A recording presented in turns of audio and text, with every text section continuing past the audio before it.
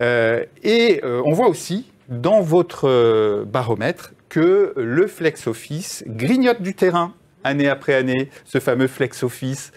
Euh, et aujourd'hui, on est à, on le voit, 21%. Donc euh, là, vous avez comparé hein, par rapport aux, enquêtes précédentes. 2019, on était à 14, 2017, on était à 6%. Donc là, euh, une, vraie augmentation. Hein. Et on voit que d'ailleurs, ce flex office, il se fait majoritairement selon des territoires d'équipe.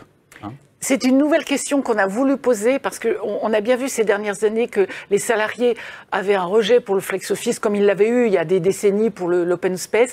Et on a voulu euh, préciser en disant, bon, OK, vous, vous n'avez pas de bureau attitré, ouais. mais est-ce que quand vous venez, vous pouvez quand même vous installer ouais. au milieu de votre équipe? Et ça, c'est quand même euh, rassurant. Ça veut dire qu'effectivement, on n'est pas obligé de se lever très tôt le matin pour trouver oui. désespérément une place. Et on n'est plus